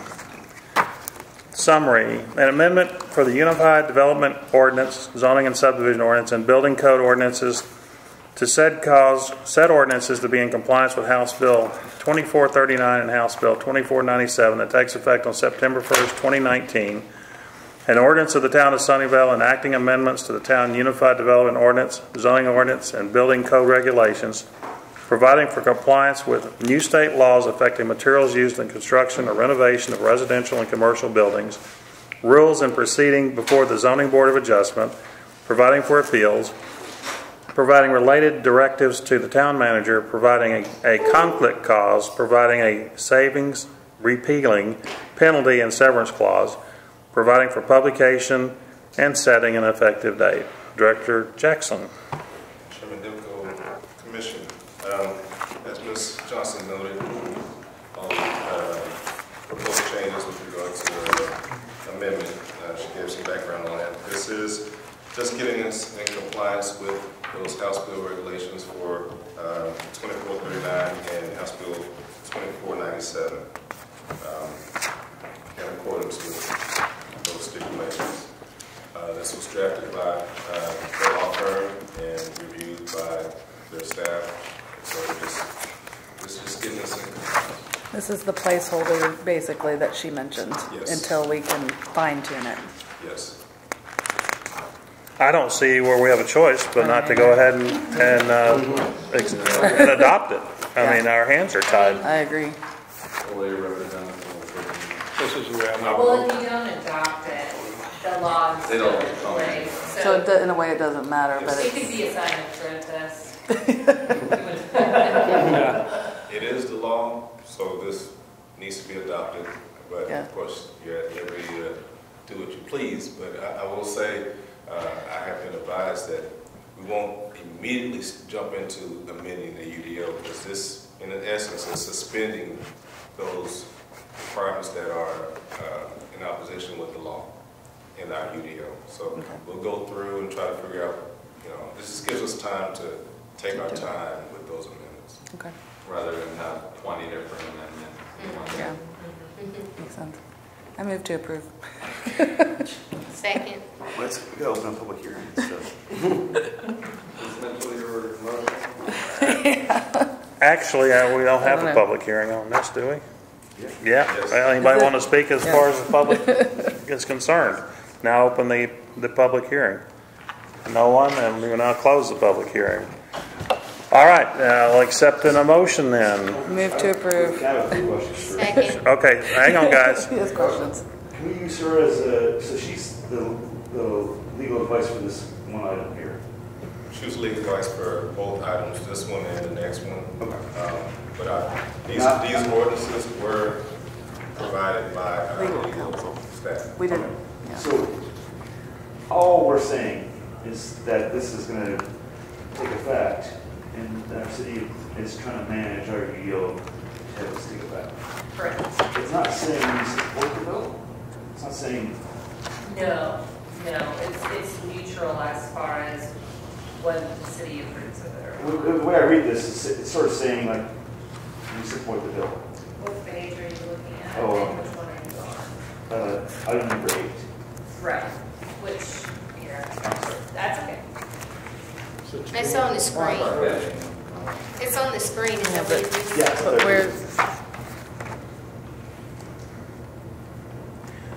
Well, I I go by background and analysis. If you read the last paragraph, this ordinance is considered interim in the sense that it will suspend our current regulation. Uh, That's all we're doing is suspending part of the I UDO. just want to be clear on this amendment, because the way I read this, and the way I know everyone else could read this, is that the P and Z, thus the city, supports this amendment. House Bill two ninety-two. Two four nine seven. No, this, this amendment is only to suspend that part of our UDO to make us in compliance with the state at this point in time. Yeah. And this is just standard notice language, Oh, I, I, legally. where's the support Rashawn, language? I'm very clear exactly what's going on. I just want to make sure that, I don't see any Where's the support support language. language? I just don't see it. I just, I like, where, where? I guess what I'm saying is it takes effect on, an ordinance of our town enacting amendments to the town unified, that, that line, an ordinance to our, of our enacting amendments to the town unified UDO, I guess. Right, So we're saying, because of this bill, we're enacting a, a change to our UDO. have to. We don't It have. doesn't say have to. Well, we have to, uh, correct me We if do I'm have I know, I know I'm, I know I'm splitting hairs, and I don't mean to No, no, annoy anyone. That's fine. It's- Correct me if I'm wrong, but if we don't pass it, it still takes effect. It's still the Under- law. Understand that, under, I completely understand that. So I'm Well, saying, Doesn't really make a difference. This is the caption for the ordinance that requires specific, so you have to state what you're doing in the ordinance, and that's the first, like, five. Right. Uh, then it goes to, uh, providing for appeals, I just, I, I'm- I like the wording of providing for compliance in the new state law, that's saying we got told the law and we're providing compliance that. I just, I don't know, so I'm being, I just don't, I, I may not see what you're seeing though. So, I mean, I just, I don't see where it says, you don't think this, one your neighbor's gonna ask you, why did you vote for this? yeah, they, if they do, I'll say because we didn't have a choice. Yeah, it's a state law. It's a law. think And- we have a choice. The law supersedes. So you If you think don't vote for it. the law is in place, Okay, but I'll- Okay, I'll be quiet. I'll be quiet. No, go ahead. We want to No, draft a Declaration of Independence right here. No, my point is that it's the, it's the, as you all know, Yeah. people will tear this thing apart. Mm-hmm. Starting today, people are gonna look at this and say, they're not gonna look at the law, they're gonna look at that amendment and make sure that it passes their sniff test. I'll And you guys know, you guys know this, for, I, I know the law and, and I know, it, but you know what's gonna happen. This, this is just standard. Every town will have something just like this. The wording in the actual ordinance is where it says what you think and why we're, why we're doing it. That is the actual wording, whereas, and I'll, I'll say Oh, this, it says, whereas the 2019 legislature, legis- legislature enacted House Bill 2497, which requires amendments to procedures applicable to rules and applicable procedures. And was, and it goes on to say, was signed by the governor. This is explaining the reasoning. So, Yeah, maybe I should be more, Yeah, that- that's, he's reading from right yeah, there. yeah, Yeah, so that's the actual ordinance. okay. Maybe I'm just a fool. Uh, You know, whereas House Bill 2439 was signed by the governor on June 14, 2019, has effective date of September 1st, 2019, and then yada, yada, Okay. yada. And then here's what the town's going to do. Well, we're going to suspend parts of our UDA, UDO, that would be affected by this bill. The state. Okay, so this is the whole thing. Yes. That's the city's law. I mean, I should put it for- This would be what will go into our new ordinance. that's the actual text. This is not the text of Now, this is just the header. yeah, this is just the header. Yeah, Not, I'm not sorry. yeah. Well, I know I'm gonna read this, I promise you. You know it too. You're gonna get all these phone calls. We want people to care for it. Well, I really don't think it's been said before that we're gonna have a problem with our big developers, because they're paying big time for this land, and they're not gonna, no, You know, they're gonna- they're gonna keep the people in our standards that are here. Care about individual rights. I mean, it's been the platform of several people. running- well, I understand that. Yeah, I understand that, but this is our folks there in Austin who are I'm taking away control. As a committee. It's like the fracking I- I deal. I I fully vet Yeah. that, the- that the individual rights have been taken into account, because I think it's important. We are a home rule city, we are, are, are, you know, Not, I guess not if we unless Problem it's- is, we just don't have an If we option. don't approve this, we can't do business, right? I mean, Yeah. our our Yeah. processes are frozen. on this. You can still do business. What this does is provide public notice that until otherwise revised, the, the requirements that are in conflict with these laws are suspended. So it gives public notice that if you have a masonry requirement that is no longer valid, it's suspended until further notice. So the city will not be taking action against somebody who puts up stone as opposed to something else. metal. Or metal, Yeah. right. I, I- I foresee, personally, I've been in this business for nearly 60 years. Um, I really foresee that something's going to happen with this. There- there- There's too many cities that this is affecting and that, that need some, I mean, the only city in the whole of the state of Texas that doesn't have a zoning ordinance is Houston. And they do most nearly everything by deed restriction, uh, which means you can go build pretty much anything you want anywhere you want, as long as you got the money to do it.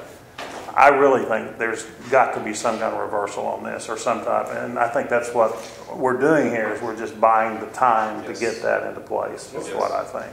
The group that really opposes this, or that is, I'm sure that more will be added as that their efforts get organized, they're calling for a special session of the legislature. So their hopes are to not wait the two years um, and to get a, some kind of session called um, before that. Yeah, somebody didn't think this one all the way through, for This, sure. this needs a lot of publicity, which, the don't only think it's thing I've getting- seen was an article in the Dallas Morning News about it. Yeah, Well, I haven't seen Well- much in the public. The reason I found out about it is because I got a notice from one of my alternative material suppliers that it was, well, that it was yeah. now the law, and that's what, that's what I sent out to everybody a couple of weeks ago.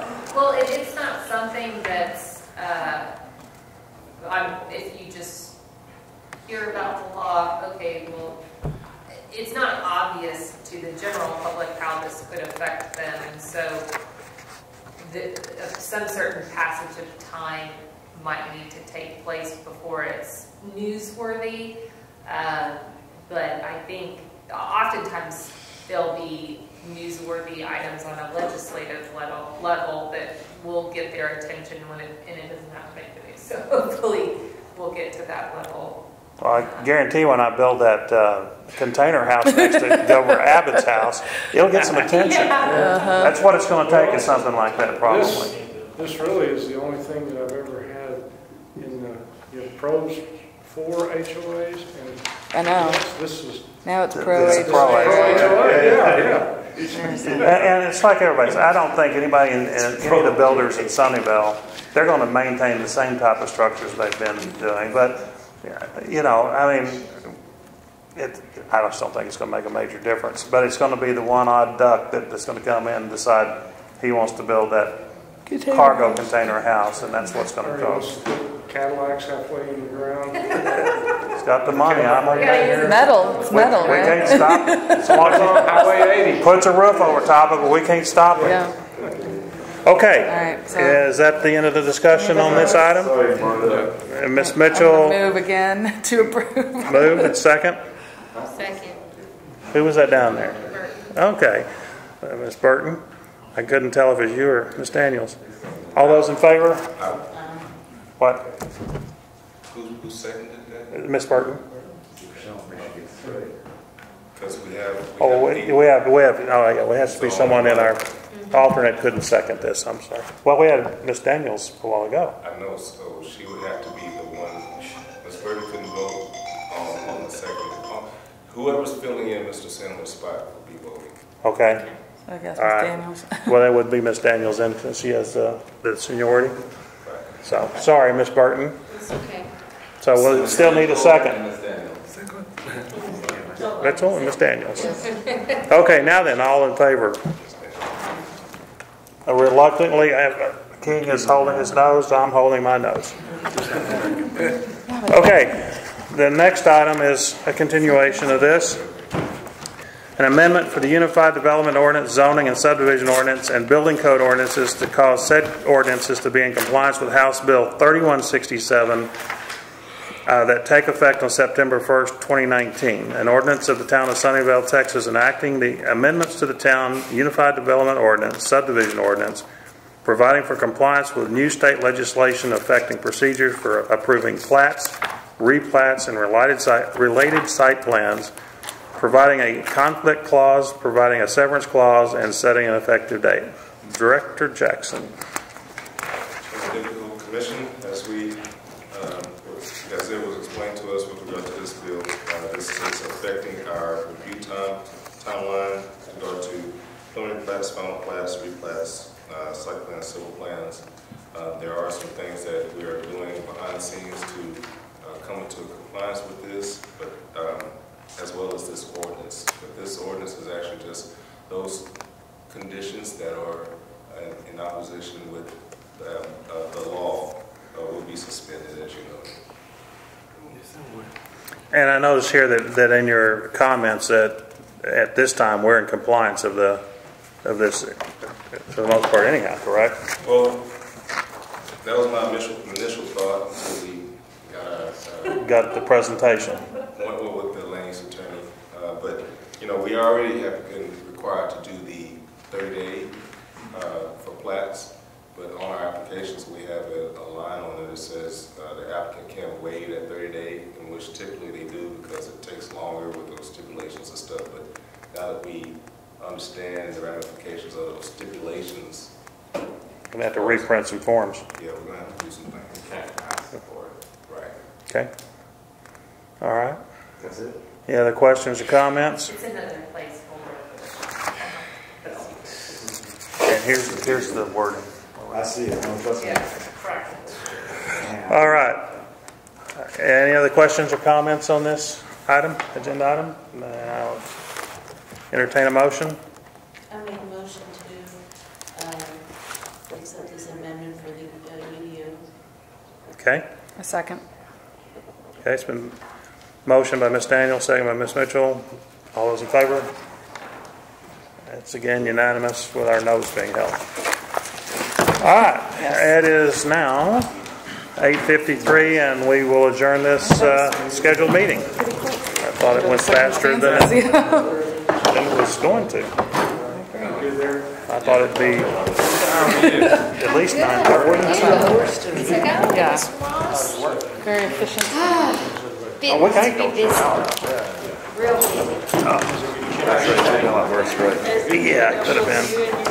I mean, we just don't have much choice.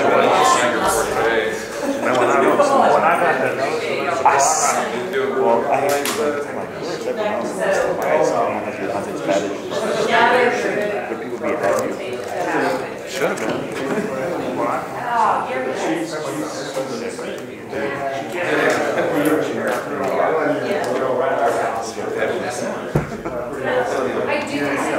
Is there a, Right, Not when you got, not when you should. she's not. I'm not gonna try to make a sports but anyways, we get to a position uh, where seventeen. Then that case, Still going on? You're the, That's pretty much a picture. Thank you very much for your time. Yeah, time. no problem, thank you. three or four weeks. Maybe you guys. Nice to meet you. oh, they're up there? I was gonna hand it to you. That's what you were saying, Main Street, all Main Street, yes. Yeah, this is like every, every, Main Street. Oh, yeah. So you can't go back and it's terrible. Yeah, no, Yeah. yeah. There's all the issues, she's got to make Main Street. Sometime, somewhere, we'll find out something. I knew she said. Yeah, no, she just. Okay, well, I'm glad you know. So on a hundred, winter, not the same kind of hundred, she's in. Oh, I think she's, she's in the resort area, I'm going to my friend who lives. Ah. Sitting in, uh, in the box. Maybe she come on my friend's house and feed us. No, my friend was born with a spoon in his mouth, kind of hunter, and, yeah, yeah. Okay. Silver spoon. Um, so has she already emailed that question?